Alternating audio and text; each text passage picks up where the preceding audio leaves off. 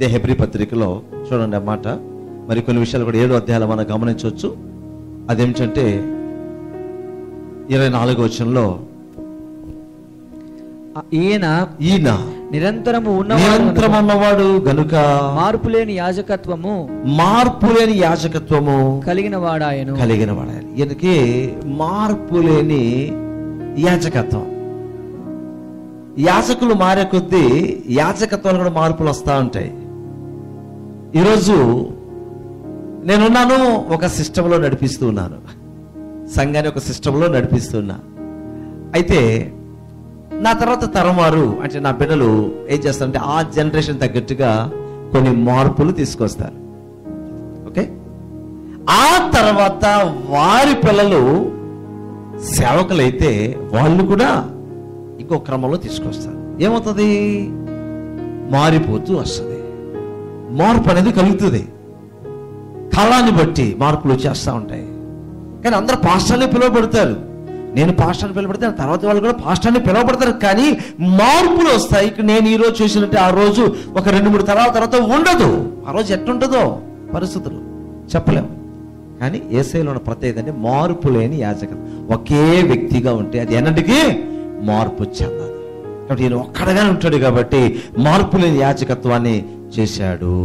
ఇంకా ఇరవై ఐదవ వచనంలో మనం చూసినట్లయితే ఈయన ఈయన తన ద్వారా తన ద్వారా దేవుని యొద్దకు వచ్చు వారి పక్షమున దేవుని యొద్దకు వచ్చు వారి పక్షమున విజ్ఞాపనము చేయుటకు విజ్ఞాపనము చేటకు నిరంతరము జీవించుచున్నాడు గనుక నిరంతరం జీవించుచున్నాడు గనుక వారిని సంపూర్ణముగా రక్షించుటకు వారిని సంపూర్ణంగా రక్షించుటకు శక్తిమంతుడై ఉన్నాడు. శక్తిమంతుడైనాడు. మరొక విషయం అక్కడ ఏం చూస్తున్నా తెలుసా? మార్పు లేని యాజకత్వం మాత్రమే కాదు.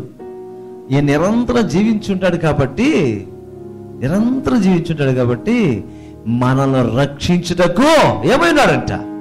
శక్తిమంతుడు! ఈయనే విజ్ఞాపన చేస్తున్నాడు ఈయనే రక్షిస్తున్నాడు. వాళ్ళు ఎంత గొప్ప విషయం మామూలు యాజకులు చేస్తారా? విజ్ఞాపన చేస్తారు వదిలేస్తారండి. రక్షిస్తారా? మామూలు యాజకులు రక్షించలేరు కదా. విజ్ఞాపన చేసేస్తారు. అయిపోయిందండి మీ గురించి మేము చేసినటువంటి విజ్ఞాపన చేసేసాము. అని చెప్తారు కానీ రక్షించలేరు కదా. నేనేం చేస్తున్నాడు? ఒకవైపు విజ్ఞాపన చేస్తున్నాడు మరోవైపు రక్షిస్తూ ఉన్నాడు. ఇక్కడ మనం గమనించాల్సిన విషయం ఏంటంటే విజ్ఞాపన చేసే ప్రధాన యాజకుడు తన ప్రజలను రక్షించే మహారాజు. హల్లెలూయా. రాజు కదా ఆయన.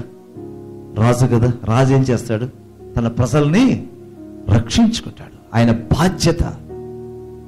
తన ప్రజల క్షేమమే తన క్షేమం. కాబట్టి నిరంతరం తన ప్రజలను రక్షించుకునే స్థితిలో ఉంటాడు. కాబట్టి ఇక్కడ ఒక నేను ఏం చూస్తున్నా ప్రధాన యాచకుడుగా దేవుని సన్నిధిలో ఈయన మొరపెడుతూ ఉన్నాడు. అలా మొరపెట్టేటప్పుడు తను శిలువులో చిందించిన రక్తాన్ని చూపెడుతున్నాడు తండ్రి దగ్గర. ఇదిగో ఈ వ్యక్తి కోసం ఇది నా బిడ్డ కోసం నేను రక్తాన్ని చిందించాను. చూడు. కాబట్టి అతను క్షమించు. అతను బలపరచు.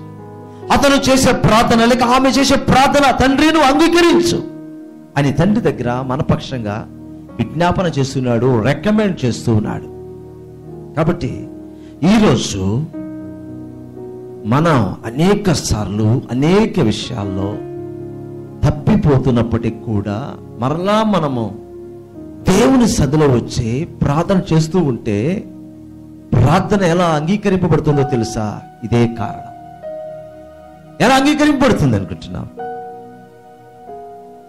అక్కడ ఏసై తన రక్తాన్ని చూపిస్తున్నాడు.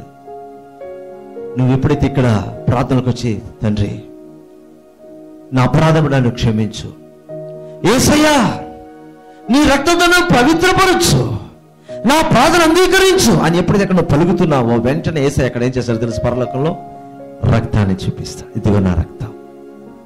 కింద నా నామంలో విశ్వాసించిన వ్యక్తి పశ్చాత్తపడ్డాడు. తప్పు తెలుసుకున్నాడు.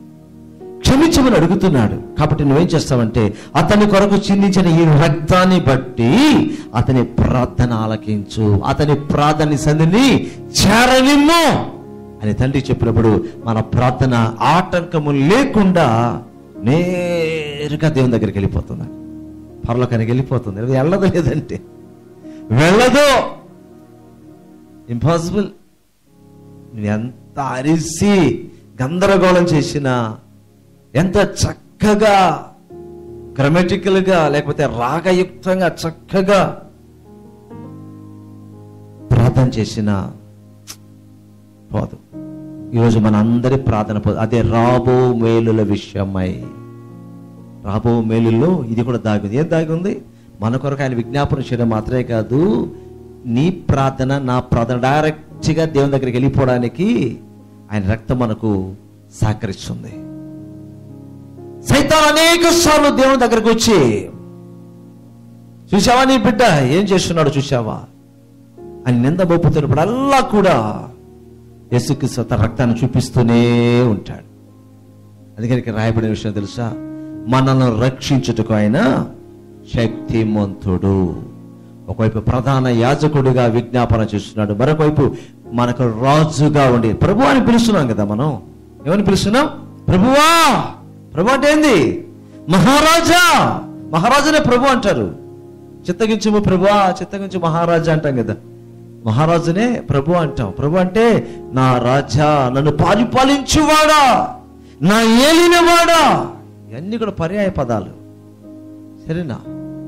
కాబట్టి ఇక్కడ మనం చూస్తున్నాం.